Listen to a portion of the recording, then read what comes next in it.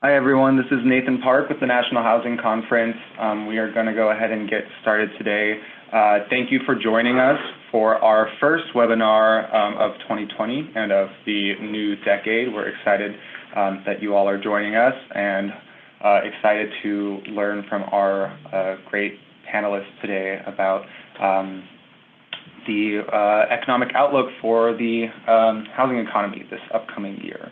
Um, I'm going to do a quick run through of the agenda. We are first going to um, have some updates from NHC, uh, some brief introductions, and then we're going to dive right into um, our presentations. Um, after that, we are going to have uh, some time for uh, question and answer. Uh, and I just want to point everyone towards um, some of the uh, inter interface with the Zoom um, uh, technology. At, everyone should be muted right now. If you are not on mute, please mute now so that um, we don't have any interruptions during the presentations. Um, and then at the end, we're going to have some time for folks to ask some questions. Uh, so if you want uh, to ask a question, you can do so at the end, or if you want to write it down before you forget it um, as the presentations progress, you can use the Zoom chat option. Um, so in your little toolbar, you should see an op option for uh, chatting, and please feel free uh, to submit questions in there. Um, with that, we have a few announcements from NHC. The first uh, is uh, for folks to join NHC. Um, for those of you who are online and who have either, uh, or joining us today and who have not renewed your membership for the 2020 year or who um, are not currently NHC members, we really encourage y'all to join. There's a bunch of great benefits, one of which includes webinars like this. So for today, we're excited to bring you this webinar regardless of if you remember or not, but uh, as we move forward in the future, other webinars like this that hopefully we uh, that hopefully you all find useful will be um, limited to our members. Uh, so please check out our website to learn more about joining. Uh, and then the other announcement is that we have our one of our signature events coming up um, in the coming months, uh, Solutions for Housing Communications, where we convene uh, a bunch of industry experts uh, on how exactly we um, communicate and, and, better advocate for uh, housing. Um, so we have some uh, great uh, topics already set up, including advocating to end homelessness, um, how to message for affordable housing, and what the future of housing news is going to look like. Um, so early bird registration is open now. Please go and register online, save some money, and we hope to see you all there. Um, with that, I'm going to turn it over to David Dworkin, the President and CEO of the National Housing Conference, who is going to introduce our uh, panel of speakers.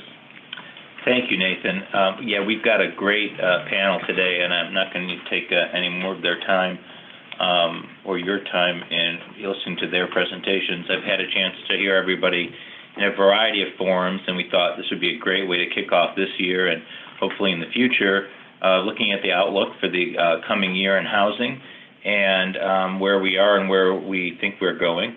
The um, Sam Khater is Vice President and Chief Economist of Freddie Mac, and uh, he's got an incredible career, including 11 years at CoreLogic and uh, as a senior economist at Fannie Mae, where I first met him. Um, he's also been a um, economist at the National Association of Realtors, and um, has a master's degree in economics uh, from Georgetown University. Uh, the uh, Lawrence Yun is also on the line, and he is the chief economist and senior vice president for research at the National Association of Realtors. And um, his uh, data and analytics uh, help inform 1.3 million real estate professionals all over the country. He also um, is part of the economic forecasting panels for the Blue Chip Council and the Wall Street Journal Forecasting Survey, as well as um, uh, advising the Joint Center for Housing Studies at Harvard University. Um, his PhD is from the University of Maryland at College Park. And finally, uh, Mike Fratantoni, um, who is the Chief Economist and Senior Vice President for Research and Industry Technology at the Mortgage Bankers Association. And um, he has a PhD in economics from Johns Hopkins University, uh, and uh, is a graduate of William & Mary, and is currently an adjunct prof professor at University of Washington, uh, Johns Hopkins, George Washington, and Georgetown Universities. So um, these are three folks who have just enormous insight and um, bring a lot of um, interesting experience to the table, and thought it would be useful to kind of look at the housing economy going forward from three uh, different lenses. And uh, without any further ado, um, we can uh, kick it off with um, Sam, and then we'll go to Lawrence, and then wrap it up with Mike and, and, and have time for your questions. So Sam, it's all yours. Thanks. Uh, Good afternoon, everyone. I'm delighted to be uh, with you. I want to thank David uh, for the uh, uh, invite. Uh, So here's a quick summary of sort of my comments on page two. Uh, Sort of four major points. Uh, Economic growth is slowing uh, due to weaker investment and global growth.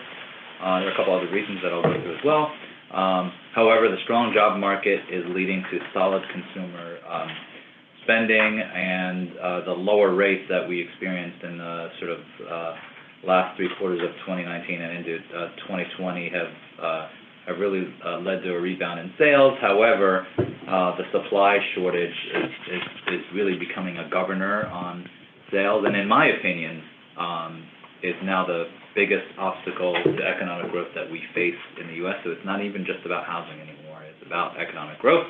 And there are uh, several sort of downstream ripple effects from the lack of supply, and I've, I've listed a few of them here on the summary page.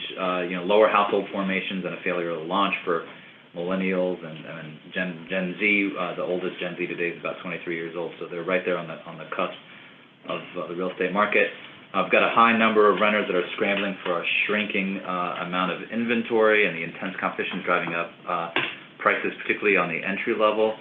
And um, moreover, a more recent phenomenon is sort of older, uh, affo- more affordable homes being rated by higher income households because of the lack of supply, and it's causing more and more for those that can't afford the first-time buyers to move further out spatially within a metro area. So if we move to slide three, uh, uh, economic growth, this is real gross domestic product, the value of all goods and services produced uh, in the uh, in the U.S. If you go back to sort of early 2017, growth was running on a year-over-year basis between two and a two and a half percent, sort of good, steady, stable rate, and it really gets a pop in, in, in 2018, particularly in quarters uh, uh, sort of uh, two and three, and that, was sort of the impact of the tax cut flowing through uh, to the consumer, uh, and you'll see that on some uh, forthcoming slides. But then once the tax, uh, you know, on a year-over-year basis, uh, heading into 2019, uh, was sort of uh, no longer really stimulative, and the impact of the tax cuts began to, fade uh, growth began to, to slow closer to where it was uh, before the tax cut uh, occurred. But then it slowed down a little bit more than that, partly because rates also really sort of uh, went up in, in uh, 2019, and then you had all the headwinds from the uh, uh, trade wars uh, that impacted manufacturing, and then you had the slower global economy that also impacted uh, uh, uh, the manufacturing base, not just here, but also um, overseas. So if you move to the next uh, page, that really shows sort of uh, the, the components of uh, GDP that, that show these trends. So for example, on the left-hand side there, I've plotted uh, the uh, percentage point contribution to GDP. Uh, and you can see that typically investment, and this is non-residential and residential. By non-residential, business equipment, um, commercial, things like that. Um, that uh, uh, the, combination of the two, sort of investment as a whole, is contributing anywhere from uh, about 50 basis points to a one percentage point on average. You know, you get ups and downs through the through the cycle, and then you see that pronounced slowdown in in 2019, and and that was that was primarily. And there are a couple reasons. One is the run up in rates, and it's hard to sort of parse out these effects, but one was the run up in rates in in 18 um, which has an impact on, and clear uh, and strong impact on investment. Uh, you had also uh, the increase in, sort of oil prices that also impacted the, market, and then and then really the trade war. You, and you can also see on that slide residential how residential began to subtract from growth. Those are the, sort of baby blue, light blue bars in uh, 19 uh, in 2019, uh, and so uh, and so at that point, housing was contracting and subtracting from growth. It is now contributing to growth on this chart, on these two charts here. I've got a four-quarter moving average just to kind of smooth out the numbers and it sort of uh, see through the noise a little bit. But residential, as of Q3, uh, just for Q3 alone, was beginning to contribute back to economic growth uh, in the economy, and that's that's a really uh, a good sign. What's interesting is on the consumption side, because on the consumption side, you see that you get the pop from the tax cut, so you can clearly see in sort of 17 uh, uh, Q1 through Q3, just sort of a general slowdown, and then you get that pop, right? And that's the impact of the, the, the tax cuts. And then once the, the year-over-year change, you know, once you, once, uh, once you, uh, start, um, comparing, uh, consumption on a year-over-year change after the tax cuts and, and that impact fades away, it kind of goes back to where it was in 20, uh, 2017, and, and consumption is moving sideways. So, so the really interesting sort of question is why is it that consumers are, are spending at a good, healthy level, moving sideways, but yet investment is, is really shrinking? And the, the main reason is, is, is confidence, moving to page five. Uh, and here I've, I've, um, uh, uh, displayed business confidence, uh, in green on the right, uh, axis, uh, versus consumer confidence in blue on the left axis. And, and you can see that consumer confidence has been high and moving sideways. Uh, so no real sort of impact from a lot of the noise that you're hearing in the press or the, or sort of the, the, the trade or tariffs or anything like that. But that is, ha- had a very strong, the, the negative sentiment from trade and, and many of the negative economic headline, uh, uh, uh, uh, sort of news stories have, have led to a, a pretty good drop in, in business confidence. And, and I think that's kind of the split that you're seeing in the economy. There's sort of the investment spending and consumer spending. And in investment has uh, decelerated uh, and, and declined, but consumer spending remains uh, at a good, uh, steady uh, state. And why are consumers optimistic? It all goes back to jobs. So on page six, on the left-hand side, I've plotted initial jobless claims of three-month moving average, basically at 50-year lows for for new jobless claims, uh, 50-year lows at, in unemployment. So that's a very good sign. And there, and there are all kinds of issues still in the labor market. Many economists are still having conversations about sort of slack and still underemployment, and those are all true. But the fact remains that we're at 50-year lows in unemployment, and that's good news for uh, consumers and boosting their confidence. And on the right-hand side, you can see why they're confident, and that is there are more job openings. So the first time uh, over the last couple of decades, which is as far back as the data goes, that we've got more job openings than people unemployed, um, which is a really good sign. Um, however, there are some still warning signs that are out there, kind of longer term, and uh, and that show that we're sort of in the late stages of uh, an expansion. The expansion is now uh, 11 years old, longest on record.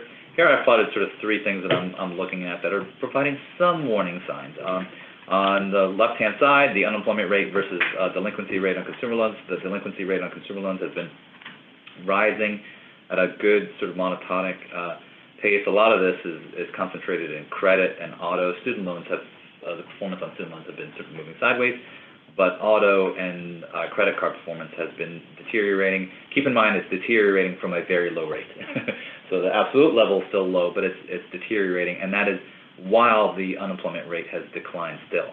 So that's a little bit of a warning sign. Another is that uh, the middle slide, um, and it doesn't show up actually well on the way I've plotted it here, but um, uh, it, it basically this is the, the, the difference or the gap between uh, consumer confidence today um, uh, versus the future, and they're more, much more optimistic about today and right now than the future, and that's usually a, a little bit of a warning sign. And then the last uh, sort of warning sign is corporate profits as a share of uh, GDP have declined, and they typically decline uh, preceding uh, is usually sort of an indicator of a, of a recession. The good news is that the level is, is high, or sort of good news or bad, news, depending on how you look at it, because the, uh, the higher the corporate pro profit share, usually means it's at the expense of labor. Uh, but from, uh, from as a sort of indicator of the expansion of the economy, the good news is that it has, um, uh, the drop has basically sort of subsided over the past uh, three years or so. It's sort of volatile, but basically moving sideways, and it, the level is still um, high. Turning to quickly to the housing market, uh, existing uh, home sales in uh, late 2018 uh, really were, falling very rapidly into early 20. That's that's sort of the trough that you see there on the chart on the left-hand side. And as of December of 2018, home sales were down about 10% year over year over year, and they were running at about 4.7 million, 4.7 million or so. And then rates uh, fell, and there was a little bit of a, pop, and then a sort of a, good steady increase in sales. But then you get kind of you hit that invisible ceiling right around five.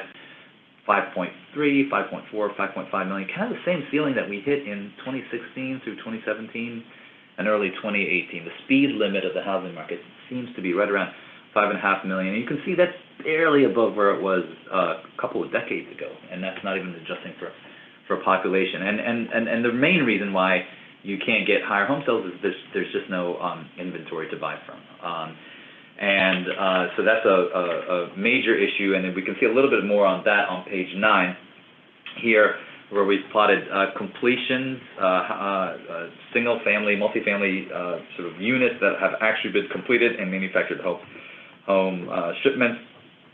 And you can see that today as of 2019, and uh, I've got a, that's the light blue uh, bar at the very end of the chart.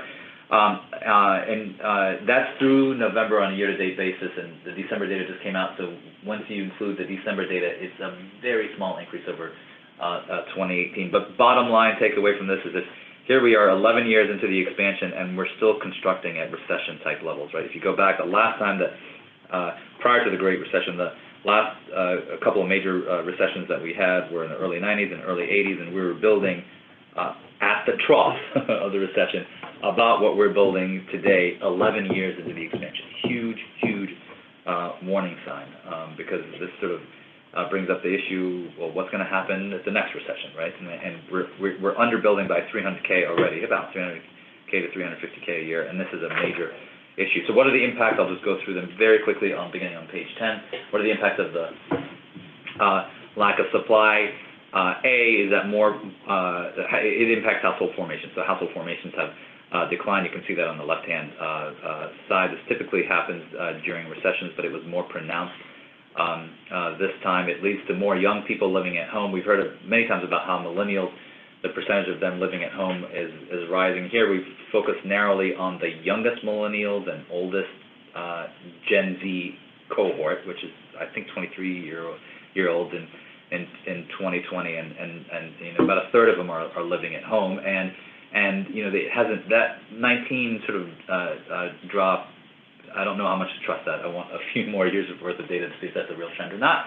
Uh, but bottom line is that in theory, in a good expansion, the percentage of uh, these young people living at home should be declining because the economy is doing well. They can get on the economic ladder, get jobs, get places to live, and, and move out of their parents' homes, but they're, they're not doing that. Um, impact number two, renters are scrambling for shrinking inventory. Here I plotted the number of renters per available home uh, for sale. So you can see that today the number of renters um, looking uh, for inventories twice, the, more than twice the level it was in the early 80s. Um, and so that's that's a, a warning sign. Um, and then you know no surprise when you have not enough supply and too much demand, you get a pop in home prices. If you focus on the right hand side there, I've plotted uh, uh, home price changes uh, year over year basis. The the middle bar chart's overall home prices running uh, a shade under four, about three seven, three eight or so uh. But what's interesting is that uh, if you uh, break out home prices into sort of the luxury price tier and then the entry level uh, price tier, entry level prices are going up a lot more than than overall home prices. And you'd be shocked at some of these entry level home prices. The year over year change in some of the hottest markets like in Idaho and Utah, they're up 12, 13, 14, 15 percent year over year basis. Uh, so these are the markets that are growing the fastest. They've got fast population growth, but they are rapidly becoming unaffordable. And so this is a major uh, issue. Uh, moving on to page 13, uh, the fourth impact of the supply shortage are, is that older homes are being rated by higher income households. And so here we've done something interesting. We took Freddie Mac's data and we looked at uh, the prices, or excuse me, the incomes flowing into uh, uh, new homes. The theory behind this is that when you, you know, sort of the builders always joke, we've never built affordable housing. Uh, it just depreciated into affordability. It's sort of like, you know, you can't afford that new BMW, but after six or seven years, uh, it depreciates into affordability. Same thing with housing. And so uh, that theory has been out there for a while and it's been um, documented in, in, in uh, census type data. Here we use our own Freddie Mac data to track the incomes flowing through new construction. And so you can see on the left-hand side how the real incomes of uh, uh, homeowners as they uh, get into new homes declines over time, consistent with the theory and consistent with the, the research and the data. However, over the last few years, it's begun to increase, meaning it's filtering up. And this is because more higher income people are starting to flow into these uh, this uh, uh, affordable stock and, and crowding out those in the middle income ranges. And on the right-hand side there, uh, and this is the nice thing about having Freddie data and using it like census type data for research. Uh, we can do, we can look at uh, smaller granular areas, and you can see that um, the, the sort of the very active, uh, hot markets like in Atlanta or Chicago, or excuse me, Atlanta or DC, uh, has, has been filtering up, uh, for a while now, versus kind of some of the other colder markets like a Detroit or Chicago, which, where you're seeing that more normal filtering and, and these new homes depreciate into affordability.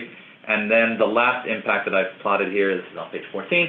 Um, uh, more and more first-time homebuyers are moving uh, out to the suburbs. So here, again, we took uh, Freddie Mac's data and we looked at the distance. We basically uh, this we did this for the 50 largest metros, and um, we uh, basically took the sort of Euclidean distance between the city center and all first-time homebuyers and plotted them sort of on a map. And so the way you read this is the distance for this, uh, and, and we we put them in quartiles. So the inner uh, sort of inner ring uh, quartile of first-time homebuyers, on average, were buying homes about nine miles from the city center in 1994, and then you get that return to the city phenomenon. And So more and more sort of people are coming into the cities, and, and you see that sort of peaks in early 2011. And I, I've seen some other work that shows that kind of that you, you're getting that same sort of effect. Yet that yes, there's a lot of people sort of crowding into into cities, but they're they're getting so unaffordable that now you're getting a reversal, and more and more people are heading out further out. And if you drew this line for the hottest cities, it would draw that it would it would show that that that line is going up at a fast uh, a faster rate. So more and more people being, particularly first-time homebuyers, are being crowded out and having to travel further, um, and that puts sort of stress on the family and having time uh, for uh, sort of yourself. And with that, I will stop uh, there and turn it back over to Nathan. Sweet. Thank you, Sam. That was uh, wonderful. Um, Great. Well, I'm going to turn it over now to uh, Lawrence um, with the uh, National Association of Realtors. Uh, hello, everyone. Uh, yes, I don't have a slide. Uh, I am out of the office, uh, so if you can bear with me. Uh, I have been uh, visiting five local associations recently, uh, diverse group, you know, from Atlanta to Greenwich, Connecticut, where they are seeing a sizable price decline. Today, I am in Fayetteville, North Carolina, a very small size, I guess, metro uh, stable prices. Uh, so I've been talking to the realtors because they are asking the same question, uh, what to expect in 2020. Uh, given that I don't have slide and uh, Sam uh, obviously you know went through a lot of detailed numbers, let me give you a sort of more of a broader scope on the how we view housing market condition and what I am relaying to our realtor members. Uh, I say uh, first that the buying condition, you know, one looks at 3.5% mortgage rates, uh, unemployment rate at 3.5% uh, rate, uh, and then you have all-time high in stock market, uh, wages beginning to pick up. So this is like one of the best time ever to enter the market. So the buyer traffic that we hear from the realtors are saying, yes, people are looking around. Uh, we see more traffic at open houses. This winter, interestingly, compared to other winters, uh, much stronger in terms of traffic, uh, lockbox opening, just qualitative measures. Uh, hard data, uh, we have one coming out uh, tomorrow. Uh, that is an embargo figure, which I cannot discuss. Uh, but the overall qualitative number shows that this winter has been quite a, a better one compared to other winter uh, months. Now, of course, we have an easy comparison from one year ago uh, because just one year ago, uh, there was a constant talk of a potential economic recession and also potential housing market recession. Uh, mortgage rate had hit 5%, stock market was crashing, a lot of discussion about recession in the media. Uh, but after 12 months, today, uh, in essence, we have exactly the opposite. you know, no recession in sight, stock market hitting record highs, and mortgage rates still remaining at favorable rates. So the buyer traffic remains healthy, uh, and the realtors are working with buyer clients, but the challenges they are facing is the lack of inventory. Uh, just not enough. Uh, the most recently available data on the inventory was as of November, and it was the lowest November inventory we ever recorded since we began tracking uh, all the way back to 1982 on the single family, uh, you know, excluding the condominiums. Uh, so this shows how low we are, uh, considering the fact that inventories are raw numbers, not adjusted for the population increases that America has encountered. Um, so if we have more inventory, uh, certainly uh, we can get more home sales to be clicking. Uh, from NAR perspective, uh, we have been fervently advocating for increased home construction uh, because that starts the chain reaction of more existing home inventory. Uh, generally, people who buy new homes are not the first-time buyers, but the trade-up buyers or trade-down buyers. Uh, but in the process of trading up or trading down, uh, they are releasing their old home onto the market, uh, which smooth out the inventory for the existing home market. So new home construction is what's needed. Sam went over that figures to show that even uh, 11 years after the recovery, uh, if we were to just look at the past housing starts, one would say that we are in a recessionary condition for housing start number, uh, even though the uh, you know year after year is showing marginal gains, but at 1.2, 1.3 million housing start, uh, that is below historical average and generally associated with a recessionary condition. Uh, so this multiple year of underproduction is the key reason uh, why we have the housing shortage on the existing home side, uh, which has been very frustrating for our members.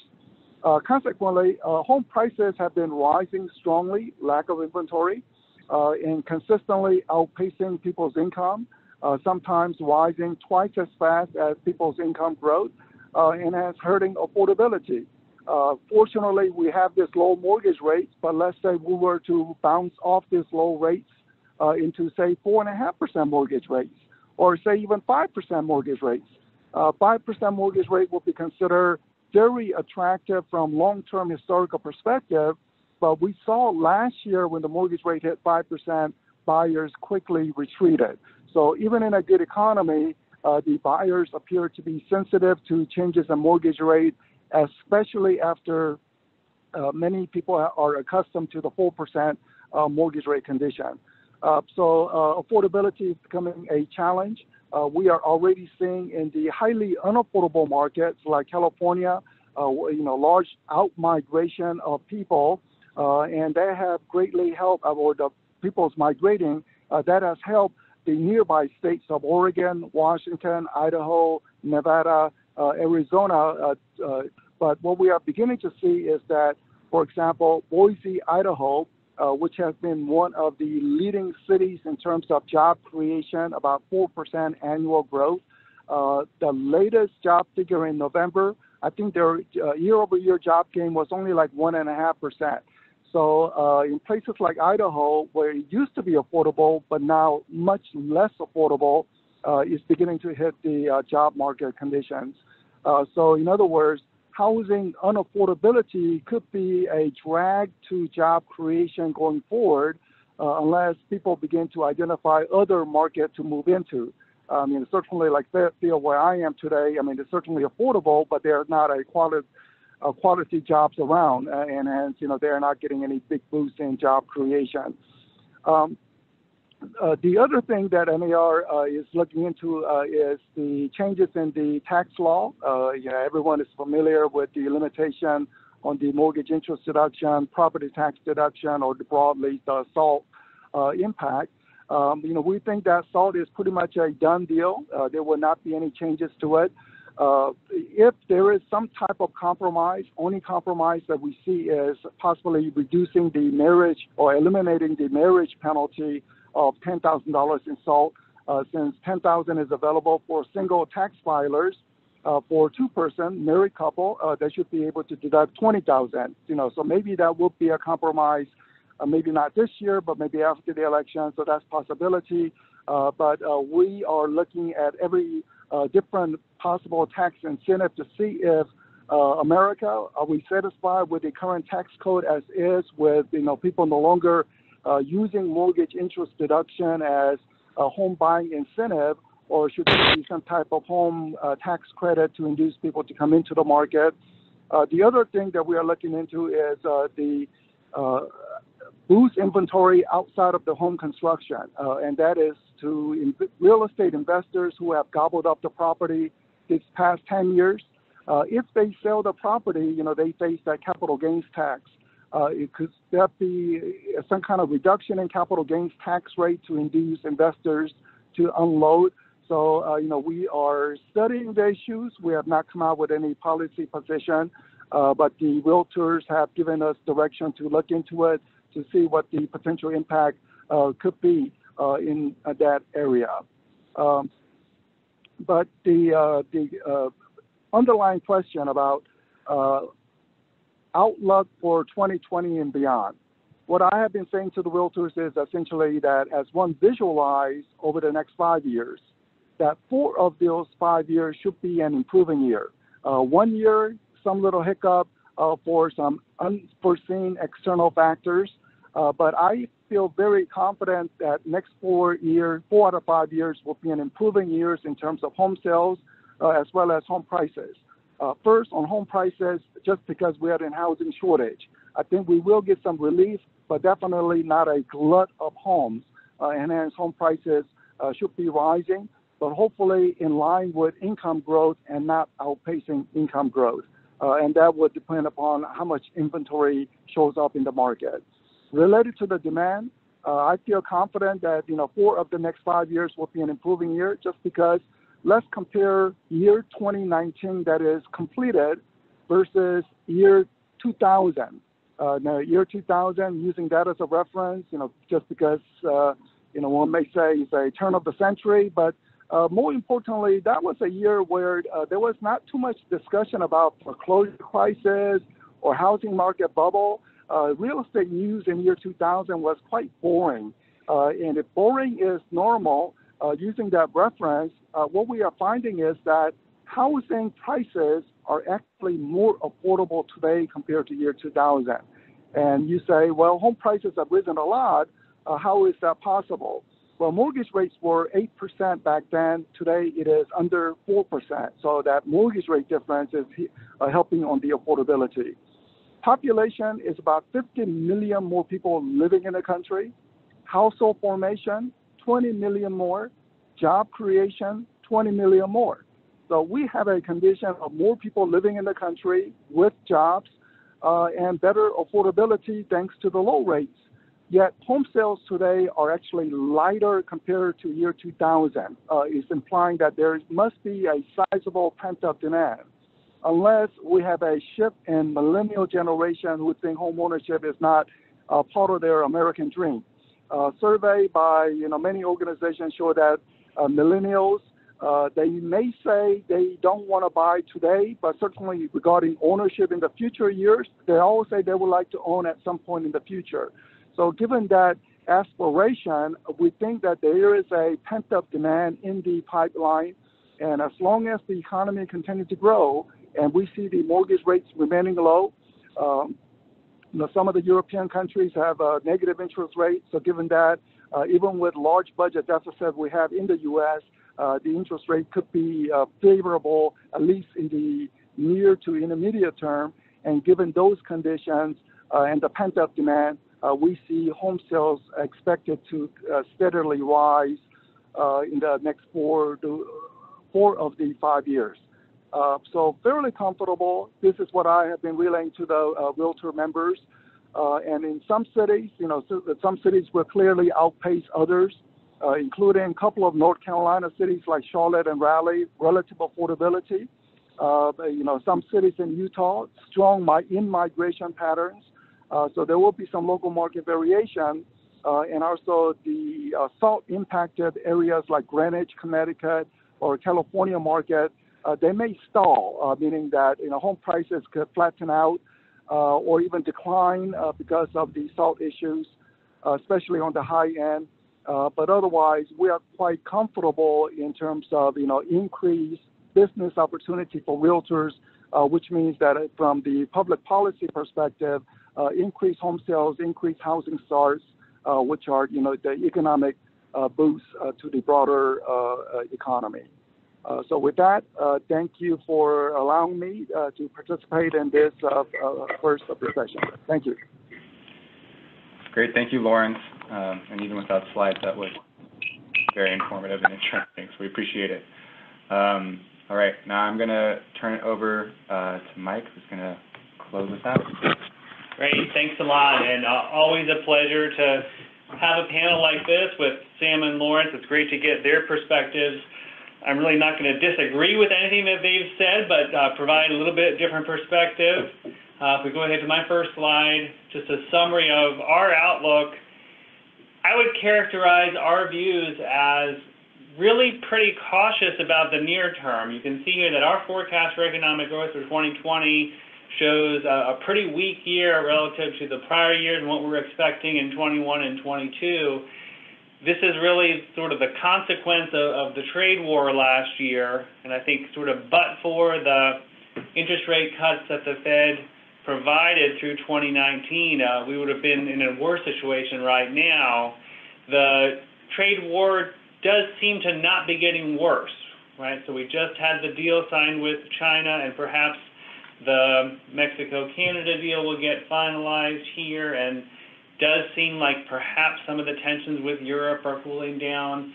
All of that positive, uh, but sort of couple, again, sort of the consequences from that with the shutdown at Boeing, and Sam showed the picture of business confidence, the news coming out from International Monetary Fund and elsewhere, global growth is very slow. The U.S. has not been able to escape that, and some of these policy decisions and policy uncertainties are leading to a much slower growth environment in 2020. A consequence of that is that we expect the, the job market's going to get somewhat weaker this year, and it's important to really keep that in context. That means moving from a 50-year low in the unemployment rate at 3.5% to maybe hitting 4% by next year. Uh, but that'll show up in various ways. Job openings are declining. You, I think you'll begin to see initial claims for unemployment insurance increase. Wage growth is slowing. And for the December number, you'll see the, the monthly job numbers slow down. But uh, again, keep it in context of after an extraordinary decade of growth in the job market, just think it's going to be a little bit weaker in 2020 and next year. That's going to be enough, we think, to keep the Fed on the sidelines. So we think short-term rates are really going to be stuck in place at least the next 12, if not the next 18 months. Couple that with this economic picture, we just don't think mortgage rates are going to move very much from where they are today. So it's a bit misleading to show it as we do here, where we say, you know, 3.7 last year, 3.7 this year. Those are annual averages right? For anybody in the business or for potential homeowner, day to day, just because of the uncertainty in the world, rates can be jumping up and down, you know, quarter percentage point up or down from that point. But we think if we come back in this time next year, uh, we will see that the annual average didn't move much in 20 relative to 19. Let's go ahead to the next slide. As you might guess, uh, being from the Mortgage Bankers Association, I tend to be a little bit mortgage focused. So one of the things that my members look to us for is a forecast of mortgage origination volume. 2019 was a very, very good year for mortgage originators, uh, over 2 trillion in volume. That was really helped along by a, a boost in refi activity in the second half of the year as rates dropped you know, well below 4% after rates had touched 5% at the end of 2018. That's the blue line here on this chart. But what a lot of my members focus on and what we spend a lot of time uh, discussing through our data is, is, the red line, is what's happening with the purchase market. You know, purchase and sale of homes, changes in home prices. And while I'm a little bit cautious about the outlook for 2020, I am really quite bullish about purchase origination volume, home sales over the next four or five years. So if I were to draw out this chart to 2024, 2025, that red line would keep increasing. And the reason I'm optimistic about this over the medium term really is focusing on some of the demographics that both Sam and, and Lawrence have talked about. We think household formation has been and will continue to be strong. and millennials are at the age now where they are, parentheses, finally, buying homes. Let's go ahead to the next slide. So for folks who have been homeowners over the past decade, it's been a pretty extraordinary run. So Lawrence mentioned that in many years you had home prices growing at twice the rate of income growth. So the blue line here is from the Federal Reserve showing total owner's equity in real estate. So back at the worst part of the crisis, that had dropped to about $8 trillion. We are above $18 trillion now. So a $10 trillion gain in home equity for most households, uh, 65% almost that own their home. This is by far the largest asset, and it has grown extraordinarily in value. Interesting thing that this chart is also showing, the green line, is that unlike in the pre-crisis housing boom, people are just much more reluctant to borrow against their home equity than had been the case previously. Uh, there's a lot of student debt out there. There's a lot of auto debt out there. Sam talked a bit about delinquencies in some of those categories, but mortgage delinquencies are at 25-year lows, and people again are just showing some reluctance to borrow against this equity, maybe a little bit less willing to believe it's gonna gonna be there, um, but a tremendous form of wealth for for people who have become homeowners. Let's go ahead to the next one. So the demographic story that I told you about, uh, you know, typically in the U.S. over the past couple of decades, U.S. Uh, forms about a million households per year. And what this chart is showing is in blue, the net growth in owner households, in red, the net growth in renter households. So prior to the crisis, most of the net increase in households was on the owner side, we saw the homeownership rate increase to a record 69 percent. Then you had the crisis for a couple of years there, not a lot of household formation at all. People doubling up, college students coming back after graduation, living living in the basement. By the time you get to the middle of the last decade, back up to a million households per year, but almost all of that gain on the renter side. We saw the homeownership rate drop below 63%.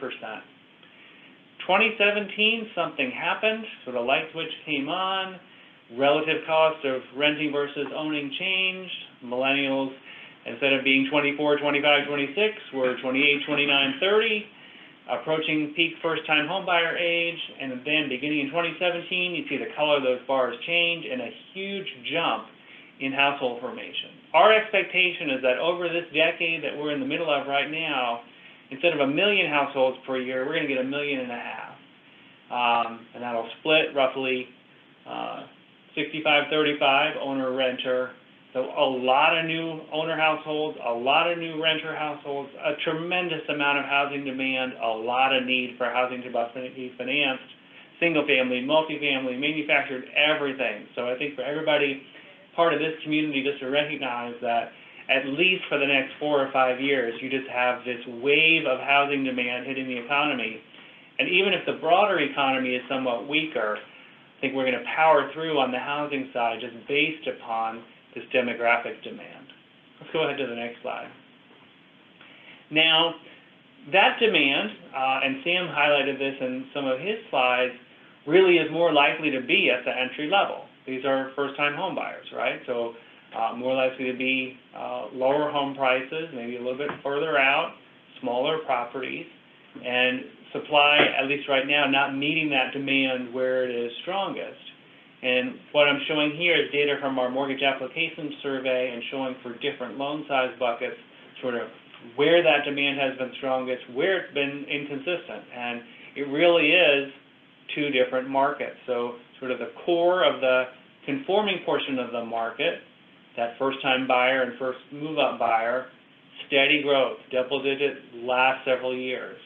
Where we see a lot of volatility, mm, uh, let's look at that yellowish colored line there, at the high end of the market, these are the folks impacted by that lack of business confidence. These are the folks worried about the, the dive in the stock market at the end of 2018. These are the folks benefiting from the run-up in the stock market in 19. So different portions of this distribution are going to be differently impacted by policy changes, by news about global growth, by some of the various uncertainties we have in the world, where your typical young family looking to buy their first home, they're kind of abstracting from that. And if their own job situation looks good, their own financial situation looks good, they're going to plow ahead and, and make that decision to buy a home. So our expectation, again, the next several years is just steady, consistent growth out of that first-time home buyer portion of the market, and we'll see some volatility uh, at the higher end. Let's go ahead to the next slide. Now, part of what's happened in the post-crisis environment is credits remain somewhat tighter, partly as a result of markets, partly as a result of regulatory changes. And for a number of reasons, I mentioned student debt, you see first-time homebuyers coming to that decision to buy a little later than otherwise. So this is just looking at distribution of uh, household income for first-time home buyers, and you can see a bit of a shift over the past several years towards somewhat higher income. You'd see the same shift if you looked at percentage of college graduates, or if you looked at uh, size of down payment. Uh, all of these things reflecting that your, your typical first-time home buyer today, somewhat older, somewhat higher income, somewhat uh, better positioned to make that purchase than would have been the case certainly in the pre-crisis environment when people were buying younger uh, and somewhat less ready than, than certainly is the case today. Let's go ahead to the next slide. Sort of broadening the, the perspective a little bit. This is a, uh, one of our favorite pictures in the MBA research group, and it's looking uh, across a couple of different dimensions at affordability. Uh, obviously, I think for, for an NHC audience, sort of thinking about affordable housing and all its permutations is, is absolutely front and center. So what are we showing here? So you see the, the zero in the middle of the page and the black line. Everything to the left of that line is counting the number of renter households in each income bucket by year.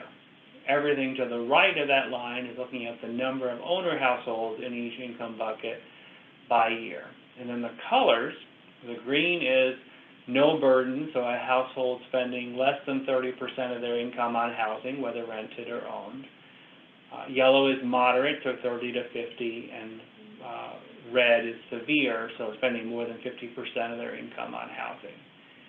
So uh, got, my, my colleague Amy Woodward likes to say that if you, if you were on a desert island and you only had one chart, this might be it. That probably says more about us than about anything else. But um, just you know, take some time to sort of study this one because you know everything it says about sort of the nature of housing markets and where housing policy may or may not be more needed uh, one thing it says to me is that for, for renters, the affordable housing uh, concern slash crisis really is at the lower end. Look at that proportion of households in the yellow and red in less than 30,000 in income, right? You have a number of renter households really, really struggling to get by. Um, on the owner side, it is a very different picture, right? It's uh, folks that are owning, you know, even at the 75,000 and above, these are in millions of households, millions of households spending, you know, more than 30% of their income, but making 75,000 a year. And, you know, we're sitting in the uh, DC market right now, and that's not hard to believe at all, right? You would have to go out pretty far from Center City, DC to find something that a 75,000 income could support. Uh, but lots of markets in the country are like that. Right, so when people say there's an affordable housing crisis, they could be pointing to any of the four quadrants of, of this chart, you know, perhaps uh, minus the, the lower left, that a 75,000 and above renter, that, that's a pretty, pretty high-end renter in, in most markets in the country. So again, just a visualization of some of the affordable challenges that, that folks are, are really focusing on. And then last slide, just, just emphasizing that again, that uh, in most markets in the country, and here this is looking nationally, that uh, cost burden for homeowners has come down a bit, uh, particularly due to the ability to refinance into these historically low mortgage rates and bring down payments. Uh, where on the right, the uh, number of cost burden renters has, has remained quite high and really to the prior chart concentrated in you know, modest to, to lower income households. So uh, again, might uh, impact how you're thinking about sort of the nature of the affordable housing issue more broadly, and obviously there are differences across geographic markets. So, uh, I guess maybe one, one more from me, and then to sort of close out, but, um, you know, our outlook, as I said, a little bit cautious about 2020, given the uh, headwinds that the broader economy faces, but really, really optimistic about home sales and construction and housing demand over the next several years, given the demographic tailwinds that we're all going to benefit from. So Nathan, let me turn it back to you. Great, thank you, Mike, and thanks to um, all of our panelists for those really insightful presentations. Um, we have about 10 minutes for questions. Um, we'd love to get the chance to um, have some folks, uh, you know, engage on the line. What I'm going to do is, uh, after I kind of, kind of go through this first question, I'm going to unmute the folks who are on so that if you want to ask a question, you'll have an opportunity. We'll probably be able to take two or three. Um, but before I do that, I just want to let everyone, make sure that everyone is, is physically muting their phone before I unmute your ID so we don't have a, a wave of sound. Um, so if you could please make sure that your phone itself is muted while I unmute everyone and also ask kind of a first um, leading question to our, to our panelists. Um, and that being, um, you know, there, you all were touching, discussing, um, you know, a number of, uh, uh, at least, uh, indications that folks are wary about what's happening. If anything, there's a lot of, you know, news stories about, oh, are we going to head into a recession or not? Um, so I, really appreciate everyone kind of um, addressing that, that question. Um, I'm wondering for aspiring home buyers, um, how would you maybe, like, what kind of advice would you give um, to, to navigate this kind of time if someone's thinking, well, I, I, I want to buy a home, but I'm seeing this news and I'm, I'm not quite sure what, I, you know, how I should be navigating this. Um, maybe if you can just parse out what, what that might look like a little bit. So uh, I'll go ahead and start. Uh, So with respect to the first question about the um, slowdown in the economy, I think there, uh, since the Great Recession, the economy remains fragile, and so I think the downside risks are elevated. Um, I think in this mini, most recent mini slowdown, I think the worst is over, and the main reason is just the consumer. Um, Again, because the, the un- the uh, unemployment rate is so low, uh, wage growth has been flat, but what's really interesting is wage growth on the bottom end has really picked up in a material way uh, in the past couple of years. That's probably because the unemployment is, is, rate is uh, really tight and there's demand for the marginal uh, person coming into the labor market, but then also because the minimum wage has, has, has picked up. And with, with a lot of these folks, um, you know, there's been at least 40 states that have been that have increased their minimum wages over the past few years, and quite a few of them have increased it in uh, at least twice. Um, and with a lot of these folks who are down at that part of the income spectrum, the marginal propensity to consume is very high. In other words, for every dollar that's incrementally flowing in, they're going to go out and spend that. And so that has um, multipliers. So that's one reason. Another is I, think you know the drop in, rates has really caused the housing market to rebound. And last year it was subtracting from growth.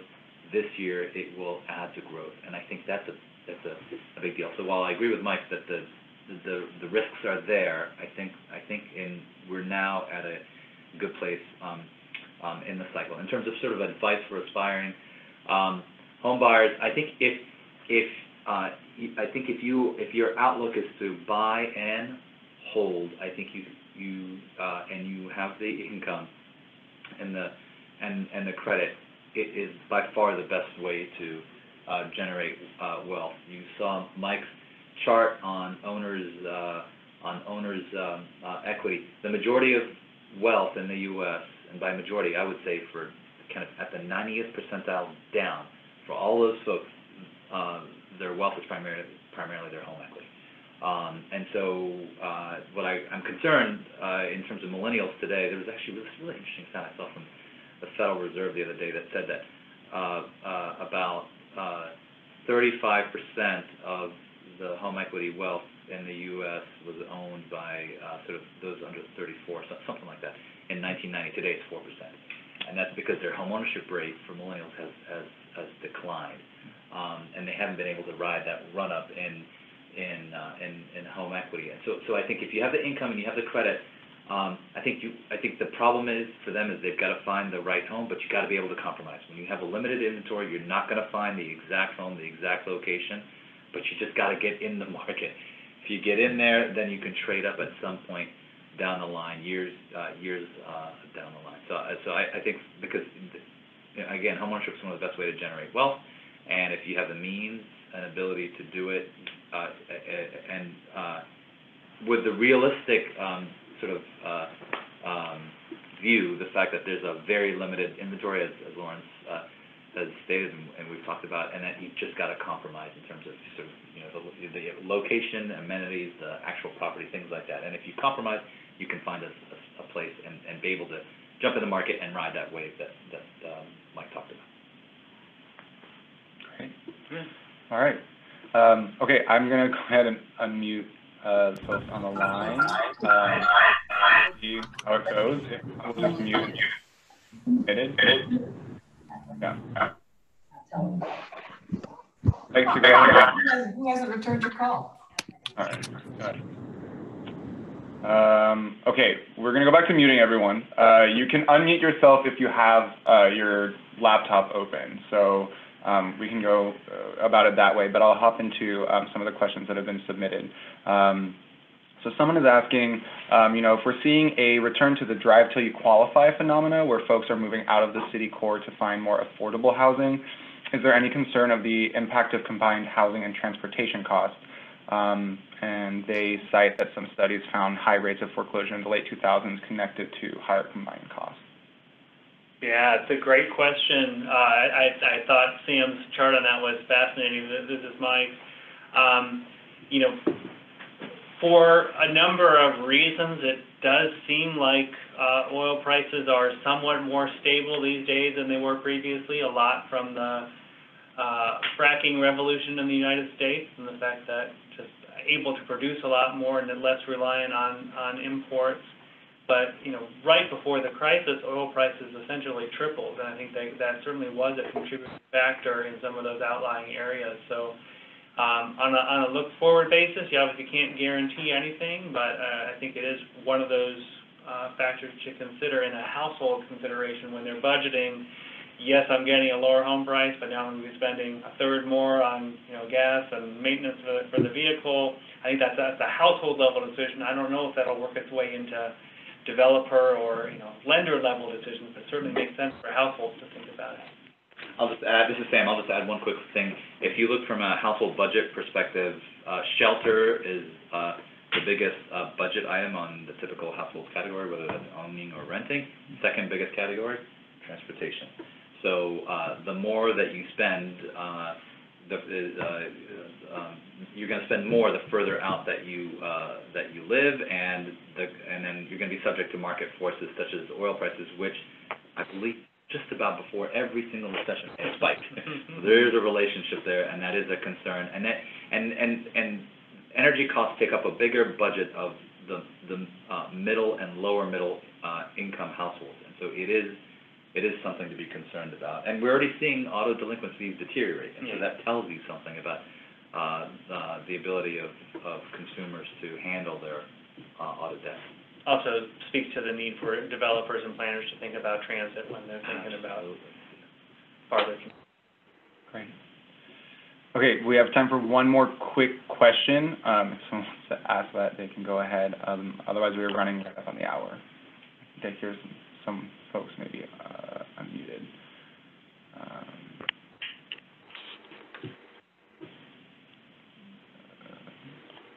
Hello. Hi there. Hey, uh, my name is Sahan, and I'm actually uh, I'm actually a millennial myself. I just graduated, and I'm here in my second day of my job. And uh, I do have I do have a question related to student loans. I know that a lot of millennials in the uh, millennials have been struggling to be homeowners, uh, mainly because of student loans. They already have a lot of debt already. They don't have money to put on more debt for a home. Are you guys concerned about the student loan uh, the, the, how much student loans are there in the market and how that's going to affect households in the future, uh, so household ownership. Sure, yeah, So yeah. Lawrence, any, sorry, uh, Lawrence, any opinion on that, or do you want Mike and I to chime in? Uh, uh, yes, uh, so, you know, 1.24 trillion, uh, that is a, uh, three times higher than just a decade ago. Uh, any economic variable that moves up that much, we should be wondering why that's the case. Now, irrespective of that, uh, our study shows that people with student debt, they are delaying their home ownership entry point by roughly five to seven years. So someone who may have planned on, you know, purchasing a home in their late 20s are now looking at in mid 30s. Uh, now, these are attitudinal survey, uh, and also in terms of the mortgage qualifying, you know, the numbers also makes it more burdensome.